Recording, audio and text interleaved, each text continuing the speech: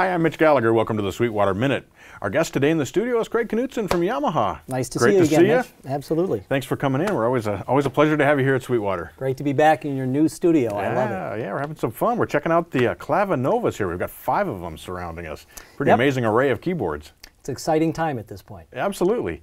So the Clavinova is a very interesting keyboard, and of course it dates back 30 some years now, right? The first Clavinova came out? Yamaha invented the very first digital piano. Mm-hmm. Clav means keyboard, Nova means new. And the original inception for the Clavinova, in the late 70s, the president of Yamaha asked the engineers to create a piano that didn't need to be tuned.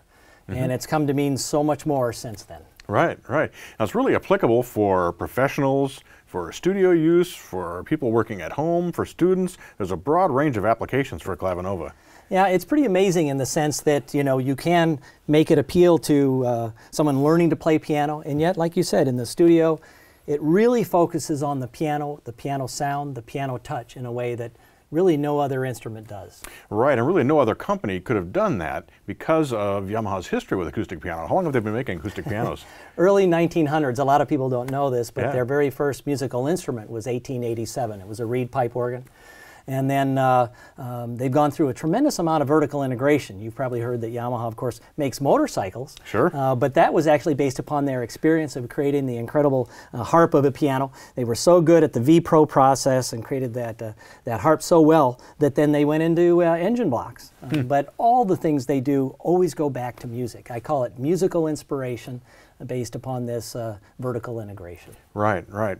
One of the things to note is that really the Clavinova has been recognized as a real game changer. You've gotten some design awards and lots of interesting things going on there. Absolutely. It's won the uh, Red Dot uh, Award for Design, this specific model in 2015. But the one that, that I'm most intrigued with is uh, just this year, Time Magazine recognized the Yamaha Clavinova as one of the top 50 most influential gadgets of all time. Wow. That's a pretty heavy duty, uh, heavy duty one. And uh, the, I think the one reason why they said they recognized it was Yamaha, through the Clavinova, has changed the way in which people make music in the home. Notice I didn't say play music. We're not playing a CD or we're not uh, playing an MP3 player. It's how they make music in the home. And there's a big difference between passive, uh, passive music listening and active music making. And the Clavinova has changed the way in which people make music in the home, and that's why they recognize the Clavinova for that, I believe. Right, it's an important distinction.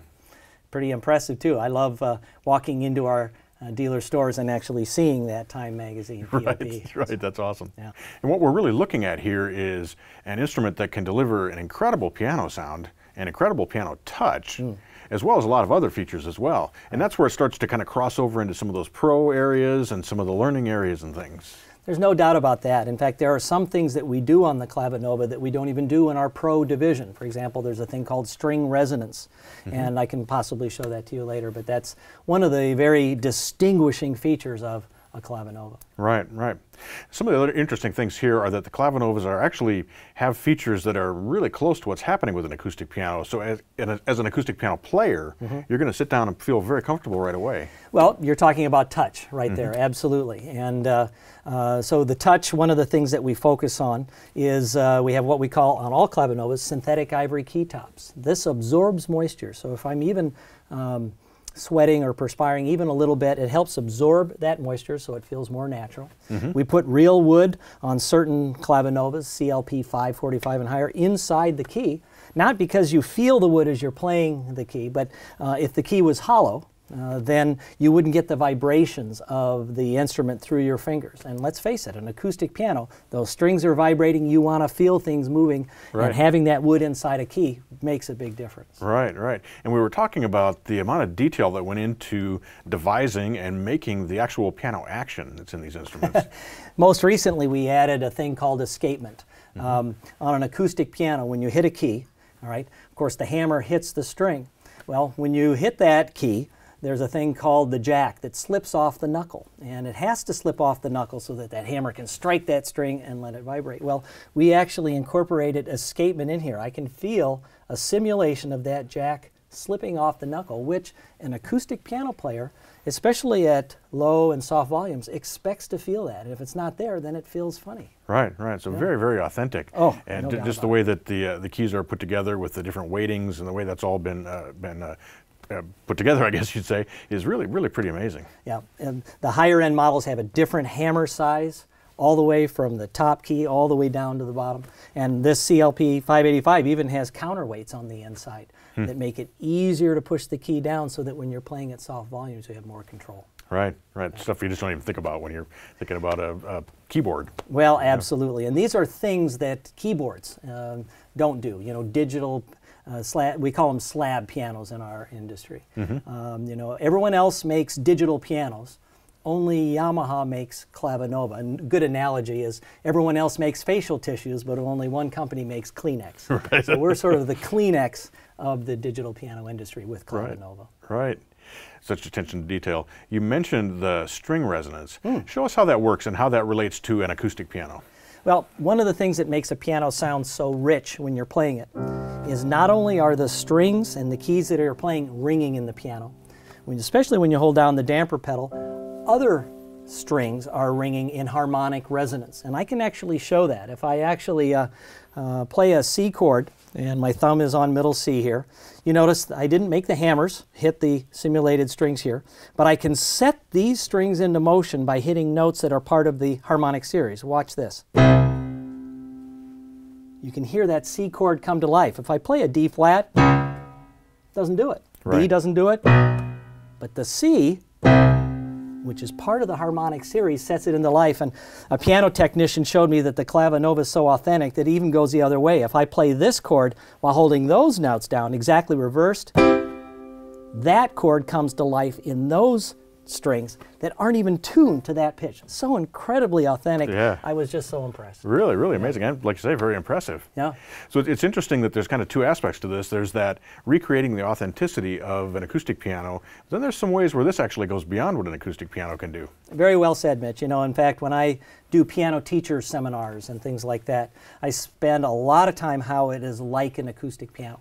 I once had a piano teacher raise her hand and she said, Why do you go all that effort? Why not just go out and buy an acoustic piano? And she makes a very valid point.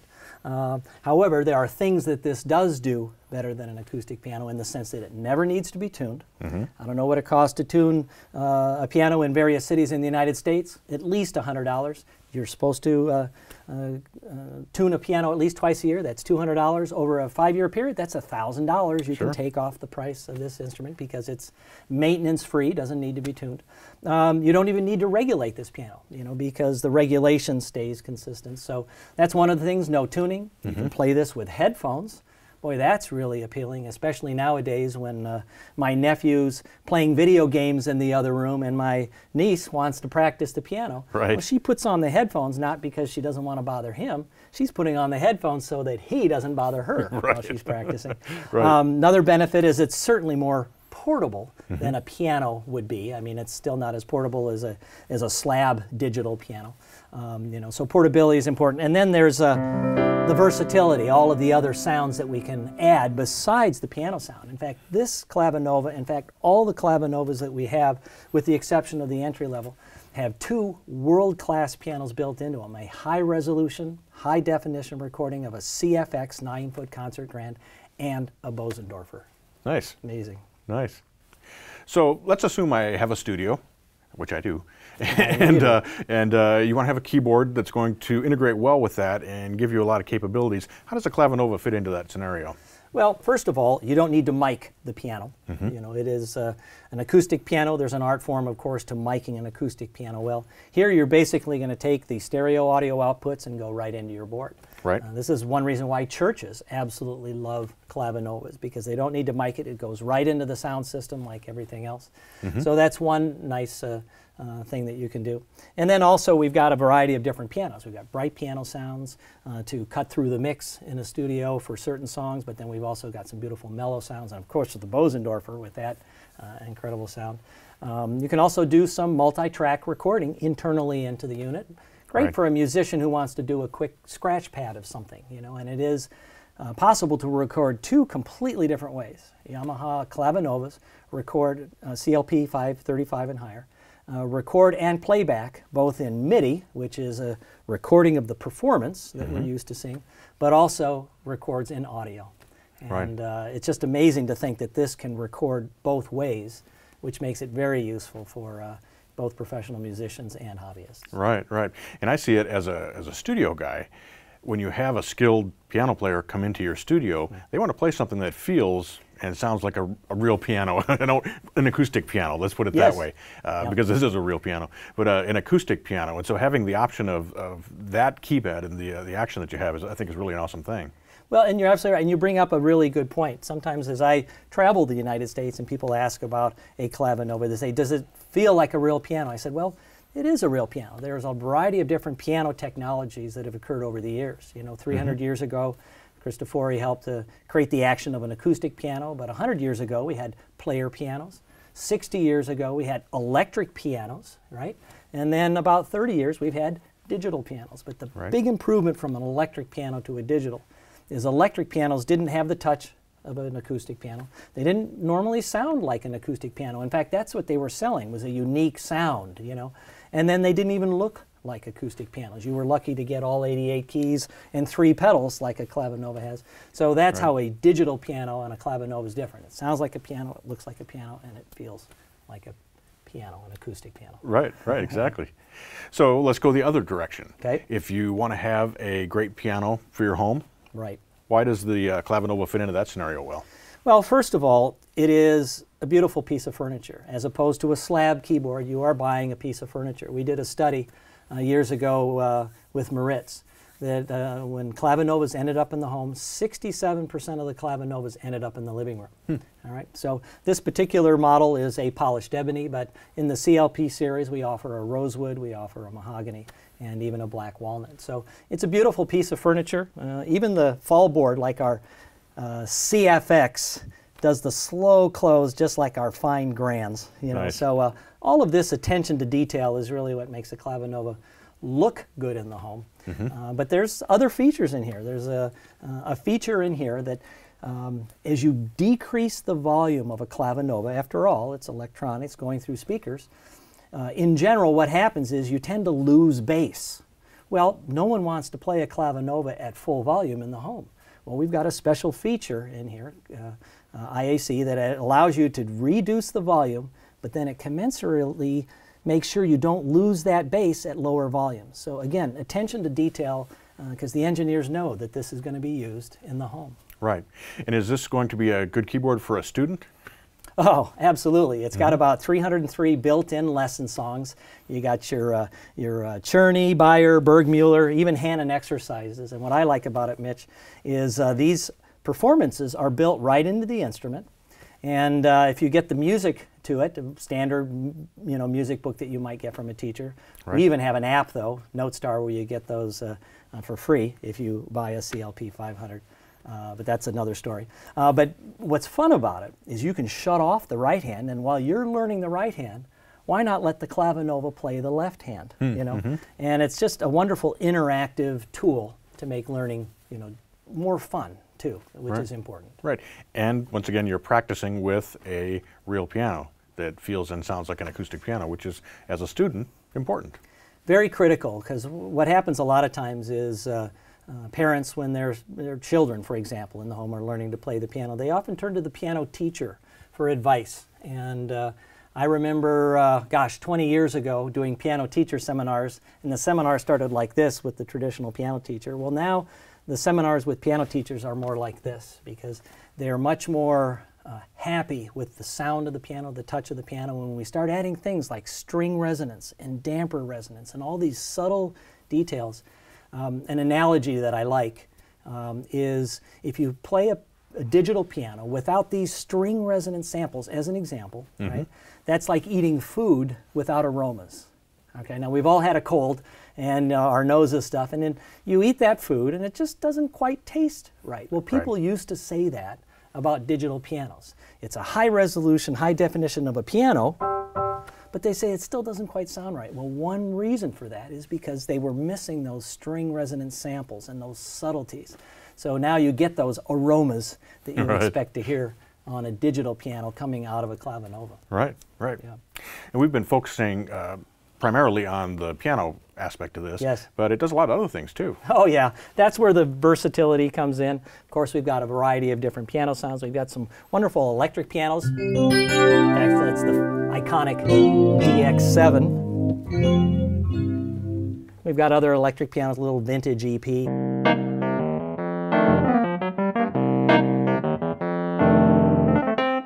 Pipe organ sounds. These are samples of actual instruments, and then a lot of other voices, including, uh, for example, harpsichord. Authentic is important. On a harpsichord, when you release, the plectrum then goes back against the string, and you hear that release sound. Watch this. Mm-hmm. You hear that release on that. And another thing a clavinova does, attention to detail. At this point, a harpsichord is not touch sensitive. All right. A piano, of course, is. If I go to the piano sound, if I play softly, if I play loud, well, a harpsichord did not play with expression. Right. All right. And so if I played very softly, and I play very hard now, you know, it sounds the same. Exact so same, sure. wonderful sounds, uh, harpsichords. We got harp. Again, a recording of an actual harp sound, vibes. And again, attention to detail. That left pedal will stop the rotors in the vibraphone from, uh, for the tremolo.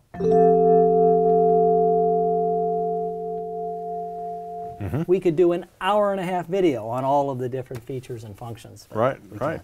and then you have onboard uh, songs and rhythms and things as well. Yeah. That little theme about making it more fun to learn too.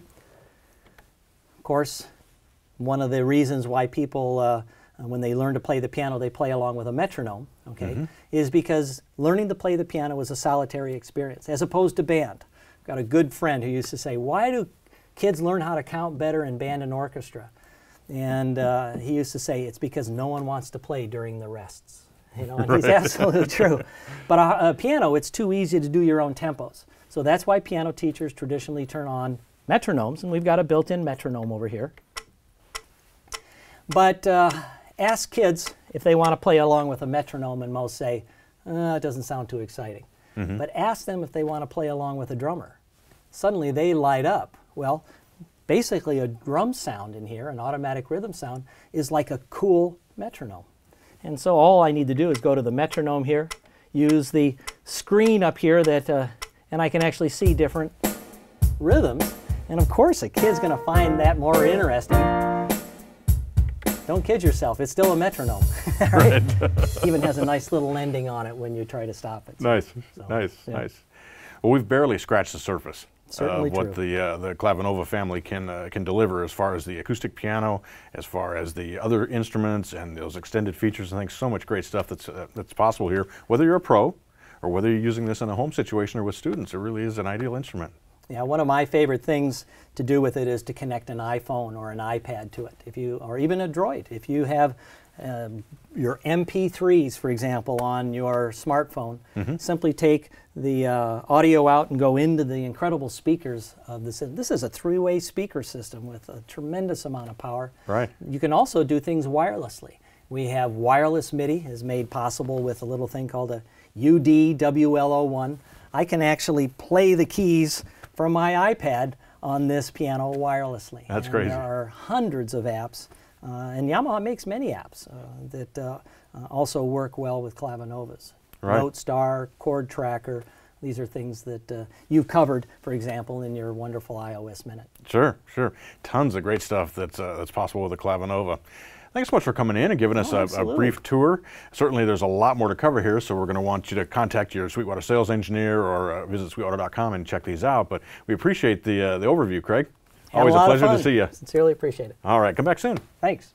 And thank you for joining me for the Sweetwater Minute. I'm Mitch Gallagher.